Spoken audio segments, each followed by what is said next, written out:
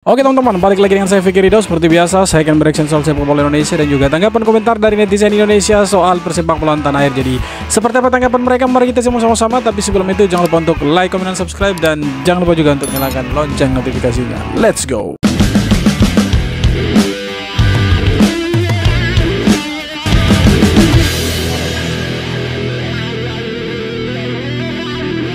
Hey gentlemen, thank you. I know you're giving the best you can for the match, for the two matches. two games, we get two points. If we want to qualify, maybe number two, we need 15 points. Eight games to go. We have away with China and Bahrain. If we play better than this, I think we can get either one three points. You believe on that? Yes. You believe on that? Yes. Okay, October we're coming back, but one issue. I know it's tough for some of the players. Yeah, please, when you go back to the clubs, yeah, you gotta improve your fitness. Yeah, we, we need more players to contribute on the fitness side. Yeah, not easy, I know. Hmm, inilah ketua PSSI yang dibutuhkan sama Indonesia. Ini sangat-sangat mensupport pemain-pemain diaspora, pemain-pemain lokal. Jadi mereka tambah semangat mau kalah, mau menang, mau imbang, mereka tetap semangat itu karena punya ketua PSSI, presiden federasi yang model seperti ini nih yang mengerti dengan para pemain ini. Ya, Pak Erik merespon kejadian supporter di Persib Bandung. Apa respon Pak? Ya, ini dia respon Pak Erik. Saya tunggu laporan dari LIB. Tapi melihat dari tayangan video yang beredar di medsos, tanpa bagaimana supporter turun ke lapangan setelah laga, lalu mengintimidasi para petugas di lapangan. Apa yang dikatakan Pak Erik kemudian? Kita tidak boleh toleransi pada kekerasan Benar sekali apa yang diucapkan oleh Pak Erick Thohir. Kita harus tegas. Ini bukan sekali dua kali. Kita kena hampir kena ban FIFA ketika Arema Malang, Aremania turun ke lapangan. Dan jangan sampai gara-gara Persib, supporter Persib kita kena sanksi FIFA lagi. Kita Ya, inilah yang merusak sepak bola Indonesia sebenarnya. Oknum-oknum supporter yang memang ya mengedepankan itu kekerasan bukan ya untuk lebih persuasif begitu. Kalau kita lihat kemarin setelah laga antara Persib dan juga Persija itu kan dimenangkan sama Persib.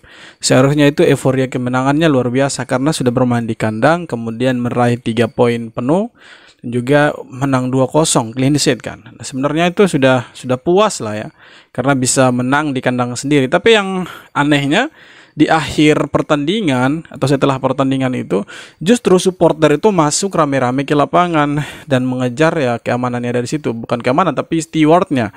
Itu dikejar sama uh, supporternya Persib itu. Jadi sebenarnya kalau kejadian-kejadian seperti ini itu tidak perlu terulang lagi di kemudian hari karena kalau terjadi seperti ini lagi dan tidak diusut tuntas sama PSSI atau LIB maka ini bisa jadi sanksi lagi buat Indonesia. Nah, kalau misalkan kita dikasih sanksi lagi sama FIFA dan posisinya sekarang sepak bola kita khususnya timnas itu lagi ada dalam tren positif ini sangat mengganggu sekali. Ya oke okay lah kalau kita hanya dikasih larangan ketika bermain home salah satu klub itu tidak boleh uh, supporternya datang ke situ atau supporter yang bermain tandang uh, bukan supporter tapi klub yang bermain tandang itu supporternya tidak boleh datang ya. Kalau sanksinya seperti itu ya tidak masalah. Tapi kalau sampai sepak bolanya atau liganya dibekukan, kemudian timnasnya juga tidak bisa ikut ya laga resminya FIFA, itu yang berat. Karena kita mau berusaha sebagaimanapun juga mengangkat nama sepak bola Indonesia PSSI mau berbagai cara pun lobby ke sana tidak akan bisa. Kalau kita sudah kena sanksi FIFA. Jadi jangan sampai jangan sampai ke depannya ada hal-hal yang seperti ini yang merusak atau mencoreng nama sepak bola Indonesia yang sekarang justru kita ini lagi ditakuti sama negara-negara tetangga kita. Seperti Malaysia, Vietnam, Thailand yang dulunya kita justru takut sama mereka sekarang mereka takut sama kita gitu. Karena kita posisinya lagi dalam tren positif ini ancaman untuk mereka. Nah kalau misalkan kita supporter-supporternya itu kita lebih mengedepankan kekerasan bukan kita berbicara secara baik-baik nah sudah kita mau bilang supporter fanatik timnas sekalipun. Kalau kita dibekukan sama FIFA liganya dibekukan timnasnya dibekukan kita bisa apa? Kita hanya bisa nonton liga luar kita hanya bisa nonton negara lain bermain. Sedangkan negara kita ya kita hanya jadi penonton saja. Jadi jangan sampai terulang seperti itu ke depannya. Loh sekarang Oke. tahun ini ke depan PSSI ngasih 500 juta per asprof. 500 juta? Kasih di Asprof, Pak. Gini gini gini gini. Gini Ya, semoga 500 juta yang dikasih sama PSSI ke Asprof itu bisa digunakan baik-baik untuk kepentingan sepak bola di provinsi sampai ke daerah-daerah supaya ada bibit-bibit muda, bibit-bibit unggul yang muncul ke depannya dan bisa diproyeksikan untuk timnas 10 atau 15 tahun ke depan. Karena 500 juta seperti yang dibilang sama Pak Arya ini itu sangat besar menurut saya. Jadi ya semoga dipergunakan sebaik mungkin untuk ya menjaring bibit-bibit unggul untuk sepak bola nasional, untuk timnas kita nantinya. Sudah terui proses naturalisasi pemain keturunan seperti Indonesia, Malaysia malah banyak ditolak pemain keturunannya. Setelah timnas Indonesia sukses dengan pemain keturunannya hingga berhasil lolos ke kualifikasi Piala Dunia ronde 3, Federasi Sepak Bola Malaysia yaitu FAM mulai meniru kebijakan naturalisasi pemain keturunan seperti Indonesia. Beberapa nama seperti Josh Brownhill, Ferdi Druif, dan Naim Garcia adalah pemain keturunan Malaysia yang ingin direkrut FAM. Namun dari ketiganya kini belum ada kabar sama sekali bahwa mereka mau untuk direkrut. Bahkan Naim Garcia dan Ferdi Druif dikabarkan menolak main untuk timnas Malaysia. Sudah Ya masalahnya Malaysia ini kan mungkin tidak punya prospek yang jelas ke depannya. Kalau Indonesia kan itu jelas. Semua pemain keturunan Indonesia itu justru mau bermain untuk Indonesia. Nah yang terbaru itu isunya si Emil Audero ini lagi ingin sekali gitu untuk bermain untuk membela timnas begitu. Padahal dulu sebelum Indonesia itu uh, masih uh, lagi ya puruk terpuruk terpuruk. Masih ya belum gacor seperti sekarang. Itu Emil Audero tidak mau. Padahal dulu itu ketua PSSI atau ya negara kita sangat menginginkan kiper seperti Emil Audero tapi justru tidak diindahkan sama dia. Bahkan dibilang bahwa untuk apa main untuk Indonesia? Itu dibilang sama bapaknya. Tapi sekarang malah ya ada isu kalau si Emil Audero itu mau bermain untuk Indonesia. Itulah hebat sepak bolanya kita jadi banyak pemain-pemain grade A, grade B itu yang mau bermain untuk Indonesia. Dan ini kita menunggu ka- kabar selanjutnya, kejutan selanjutnya dari Pak Erik. Bagaimana sepak bola Indonesia ke depannya khususnya pemain-pemain diaspora ini. Nah kalau kita lihat Malaysia itu agak sedikit berbeda. Mereka justru hanya mengklaim bahwa mereka punya pemain keturunan di luar negeri yang bermain di Liga Inggris ya kan. Tapi itu sama sekali belum ada pergerakannya untuk proses naturalisasi. Sedangkan Indonesia saat-saat tiba-tiba sudah ada pemain diaspora atau pemain naturalisasi. Malaysia sebenarnya mengikuti caranya kita tetapi mereka mengikuti cara dengan cara yang agak sedikit salah menurut saya. Karena mereka itu naturalisasi pemain-pemain yang bermain di Liga Malaysia yang kalau kita lihat dari umur mereka itu sedikit lebih tua dari pemain-pemain kita Indonesia. Nah, kalau kita punya pemain timnas Indonesia ini mereka itu masih umur-umur yang katakanlah mereka bisa bermain di eh, kelompok usia begitu 19, U20 seperti Rafael Struik itu sebenarnya dia masih bisa bermain di U20 tapi dia bermain untuk timnas senior. Itulah hebatnya dia begitu. Nah, itulah yang tidak bisa ditiru sama Malaysia. Jadi kita agak sedikit unggul dari Malaysia ini karena kita punya pemain keturunan itu rame-rame antri di belakang. Bagaimana caranya mau bermain untuk Indonesia itu? Kalau cuma sekali, mungkin kebetulan. Dua kali, mungkin masih kebetulan. Tapi kalau sampai tiga kali, berarti emang bener dong ada pengaruhnya. Gue kira efek Yom Ki-hun itu cuma dirasain sama Hoki dan juga Sananta. Tapi ternyata Dimas Derajat juga nggak mau kalah boy. Gila gila gila gila. Ini yang gue tunggu-tunggu ya. Ayo para pemain Liga Ang, Liga Lokal, tunjukkan eksistensimu. Bikin Sintayong pusing, mau jadiin siapa yang jadi starter nanti lawan Bahrain dan juga Cina. Gue jadi inget, ada satu pengamat yang meragukan kedatangan seorang Yom Ki-hun. Karena Doi, secara statistik waktu di timnas Korea dan juga di klub Suwon FC, itu biasa aja boy secara gol, bukan striker top Asia lah. Tapi perlahan-lahan, belum lama ya BTW ya, itu udah mulai kelihatan buktinya boy. Dan gue mau ngingetin ke kalian, performa dari hoki, Dimas Derajat dan juga Rabanan Sananta itu baru di satu match ini di Liga 1. Semoga aja harapan gue sih ya, performa ini bisa dipertahankan atau bahkan ditingkatkan. Dan kalian harus tahu guys, ketika pemain dipanggil TC ke timnas, mereka nggak perlu jadi starter pun. Mereka akan tetap dapat latihan dan juga bonding yang baik. Dan impactnya bisa dirasakan oleh klub. Coba dong ngomong lagi dong. Sintayong suruh terima kasih sama klub Ligue 1. Coba tolong ngomong lagi. Kata gue mata balik ya. Emang udah berkali-kali nih gue bilang ya. Enak banget jadi klub Liga 1. Gak ngapa-ngapain mainnya jadi bagus. Ya gue harap sih klub-klub Ligue 1 itu sadar diri ya. Dibenahi, dibenahi. Staffnya dibenahi. Kalau nggak punya pelatih finishing, ya dicari pelatih finishing yang bagus. Kalau nggak ada pelatih defending, goalkeeping, dicari. Jangan terima beres doang. Ini tuh cuma sementara boy. Sintayong cabut nanti Yong Kyun gak ada. Masa melempem lagi pemain Ligue 1? BTW selamat ya untuk golnya ya. Hoki Nah, inilah dampak positifnya untuk pemain-pemain kita, pemain-pemain lokal. Walaupun mereka tidak diturunkan sebagai starter di uh, pertandingan sebelum-sebelumnya ketika kita melawan Arab Saudi dan Australia, tapi akan ada dampaknya untuk mereka. Ketika mereka kembali ke klub, mereka bawa sesuatu untuk klub dan ya bisa mempersembahkan sesuatu untuk klub mereka yaitu gol mereka. Ramadan Sananta Hoki Caraka Dimas Derajat. Itu kemarin yang terakhir Dimas Derajat ini cetak gol kemarin untuk ke gawangnya Persija. Jadi itulah dampak positifnya dengan kita merekrut pelatih striker. Jadi kalau ada yang bilang bahwa berarti si Sintayong ini gagal dong melatih uh, striker kita sehingga kita harus datangkan pelatih striker bukan masalah gagal dan tidak gagalnya tetapi ini tergantung kebutuhan apakah kita membutuhkan uh, pelatih striker atau tidak dibutuhkan ya. Karena kita membutuhkan itu, makanya kita rekrut, panggillah pelatih striker dari Korea Selatan yang juga mantan strikernya timnas Korsel. Jadi bukan masalah gagal dan tidaknya STY tetapi butuh dan tidak butuh. Kan begitu sebenarnya. Ngomongin timnas Indonesia belum lengkap nih kalau kita ngomongin juga timnas wanita putri saat ini sedang membangun kekuatan baru di ASEAN bahkan di Asia. Ada musim tambahan baru yang notabene sudah tiga pemain yang sudah menjadi warga negara Indonesia dan bermain saat melawan Hong Kong. Lalu ada empat tambahan pemain baru yang akan bergabung dengan timnas Indonesia. Kalian bisa melihat gambarnya di atas dan yang jelas kalau kalian melihat gambar di atas, ini timnas wanita dipersiapkan untuk jangka panjang, terutama mendekati laga nanti di 23 November di ajang AFF Wanita Championship. Bagaimanakah kiprah dari Kosmochi untuk menangani timnas wanita? Yang jelas kita harus tetap mendukung apa pun keputusan yang dilakukan untuk Kosmochi dan membangun sepak bola timnas wanita dari bawah sampai ke level ke next level berikutnya. Hmm.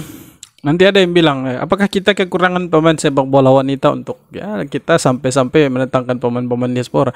Ya memang kurang, men. itu waktu Piala Asia kah kalau tidak salah yang ya Piala Asia kalau tidak salah. Yang di Bali itu itu timnas kita khususnya yang timnas perempuan itu yang dibantai habis-habisan itu. Bahkan sama negara tetangga kita sekalipun kita dihajar habis-habisan itu. Jadi ya pentingnya kita mendatangkan pemain diaspora yang punya jam terbang tinggi, yang punya menit bermain lebih baik daripada pemain-pemain lokal. Ya supaya apa? Supaya dengan datangnya mereka bisa mendongkrak performa timnas dan juga pemain-pemain lokal khususnya yang uh, timnas perempuan ini bisa ambil ilmu dari pemain-pemain yang dinaturalisasi ini. Jadi ada sesuatu yang didapat sama mereka. Bukan hanya sekedar mereka datang bermain untuk timnas lalu pulang kembali ke klub, tapi kan ada sesuatu yang mereka tinggalkan untuk pemain-pemain lokal kita supaya mereka lebih gacor lagi ke depannya kalau ada pertandingan-pertandingan atau event-event internasional. Meski diizinkan klub well, well berjardim, abaikan panggilan timnas U20. Nah ini yang berbahaya, ini yang tidak bagus. Secara prinsip klub Welber sudah melepas uh, Welber untuk uh, bergabung dengan timnas dan uh -huh. tiket pun sudah kita berikan, tetapi sampai detik-detik terakhir pendaftaran Welber nggak datang gitu. Uh, bagi saya dan tim pelatih ini kan tim usia muda. Uh, pasti kita tidak mau tergantung dengan satu dua pemain karena kalau Welber nggak ada pemain lain harus ada penggantinya. Ya, uh-huh. karena ini tim sesuai dengan arahan dari ketua umum dan saya setuju bahwa di tim nasional 20 itu harus ada setiap posisi ada empat pemain. Jadi Hmm, ini bakalan dia nasibnya ini kalau tidak tidak segera diatasi akan sama seperti Elkan Bagot nanti ini nggak ada masalah misalnya Welber nggak ada yang lain ada hmm, semoga tidak tidak tidak seperti Elkan Bagot yang akhirnya masalahnya itu berkepanjangan sampai sekarang dan akhirnya dia tidak dipanggil sama STY. Semoga Welber Jardim tidak mengikuti jejaknya si seniornya si Elkan Bagot. Semoga ya dia punya alasan yang jelas kenapa tidak mau dipanggil ke timnas begitu. Padahal menurut coach Indra Safri itu klubnya dia Sao Paulo itu mengizinkan dia untuk bermain ke timnas. Ya ketika ada timnas calling itu dia diizinkan sama klubnya. Tapi kenapa dia tidak mau? Ya itu yang kita tunggu klarifikasinya. Jangan sampai masalah seperti Elkan Bagot itu terjadi di Welber Jardim. Karena kalau kita lihat di U20 kemarin Welber Jardim ini salah satu pemain andalannya Coach Indra Syafri, ya kan, sering diturunkan sebagai starter dia itu. Jadi kalau misalkan dia tidak ada, ini kan ancaman juga buat timnas U20. Tapi kan seperti yang dibilang sama Coach Indra, itu di setiap posisi itu ada empat pemain. Jadi kalau satu tidak ada, maka tiga ini yang akan menggantikan posisi itu ya. Mereka harus bersaing lagi. Jadi semoga ya masalah Elber Jardim ini tidak tidak ya tidak sampai berkepanjangan seperti El Elkan Bagot itu. Timnas Malaysia lawan bot untuk push rank, ngejar rank FIFA Indonesia. ya, jadi Oktober ini kan Indonesia akan menghadapi dua pertandingan kualifikasi Piala Dunia, yaitu lawan Bahrain tanggal 10 dan lawan Cina tanggal 15. Nah, di situ kan juga ada agenda match day FIFA.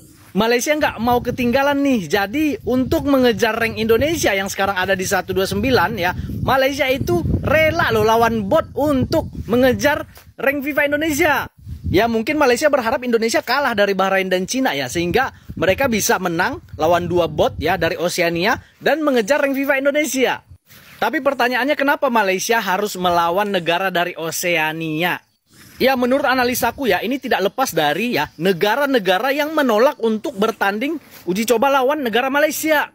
Jadi sebelum ini Malaysia udah mengajukan beberapa tawaran untuk uji coba ke berbagai negara termasuk Indonesia ditolak. Bahkan kemarin Cina, India ya juga menolak untuk main di Piala Merdeka. Nah, Lebanon kenapa kemarin mau ikut uh, di Piala Merdeka? Jawabannya adalah karena hadiah Piala Merdeka itu lebih besar dari Liga 1. Piala Merdeka itu hanya diikuti empat negara, dua pertandingan. Hadiahnya 5 miliar. Anjir. Bandingkan dengan Liga 1 yang sampai 34 pertandingan, tapi hadiahnya kalau juara itu cuman 2,5 miliar. Jadi bisa dibilang Lebanon mau ikut uh, uji coba lawan Malaysia di Piala Merdeka karena uang. Jadi karena ditolak oleh banyak negara ya Malaysia mau cari aman aja ya, ya untuk melawan negara Oseania. Gimana menurut pendapat kalian Lur? ya silahkan saja mau kejar Indonesia ya terbuka pintunya kan tapi ya semoga berhasil begitu karena Indonesia sekarang jauh di atasnya Malaysia Malaysia ada di 133 ya Indonesia 129. Ada ada ada sedikit gap dari Indonesia ke Malaysia gitu. Ya semoga lawan dua negara dari Oceania, entah itu negara apa itu yang nanti dilawan sama Malaysia ini. Semoga kita bisa lihat nanti di internet ya. Calon lawan dari Malaysia, dari Oceania. Jadi ya kita bisa lihat. Jangan sampai Malaysia kalah lagi dari mereka. Nah, itu semakin tertinggal mereka dari Indonesia. Oke teman-teman, jadi itu dia beberapa video tanggapan komentar dari netizen Indonesia soal persepak bolaan Indonesia. Jadi sekali lagi mari kita dukung timnas yang rusuh-rusuh kemarin antara uh, bukan antara tapi supporternya Persib ya oknum supporter yang kemarin rusuh ketika Persib lawan Persija itu selesai. Semoga ke depannya tidak ada lagi. Kalau kita cinta sepak bola Indonesia, kalau kita mau Indonesia sepak bolanya lebih maju lagi, ya kita harus tingkatkan cara berpikir kita. Jangan sampai kita lebih mengedepankan kekerasan. Ya itu sangat-sangat tidak baik untuk sepak bola. Ya kita sebenarnya sudah ada di peringkat 15 untuk supporter terbaik ya, fanatik ya. Karena dilihat dari berbagai aspek Indonesia itu luar biasa bahkan kita ada di atasnya Portugal kalau tidak salah ya harusnya kita pertahankan itu jangan sampai kita hanya sebatas itu tetapi yang sebenarnya yang terjadi di Indonesia itu ya jauh dari yang sebenarnya yang ada di di peringkat itu. Kita kan ada di peringkat 15 itu. Jadi semoga ke depannya kita peringkatnya itu lebih naik lagi masalah supporter ini. Jangan sampai gara-gara ulah se segelintir supporter ya bukan semua supporter segelintir orang yang menjadi supporter dari klub tertentu yang membuat masalah akhirnya dampaknya itu bukan hanya ke klub-klub Liga 1 tetapi bisa merambah ke timnas. Akhirnya kalau misalkan semua dibekukan maka kita ya selamat tinggal sepak bola Indonesia. Kembali lagi ke 20 tahun yang lalu. Jadi kita sepak bolanya hanya berjalan di situ di situ saja tapi tidak akan berkembang ke mana-mana. Oke teman-teman sekian video kali ini. Terima kasih banyak sudah nonton video sampai akhir. Sekali lagi jangan lupa untuk like comment dan subscribe. Kita jumpa lagi di video-video berikutnya. Hormat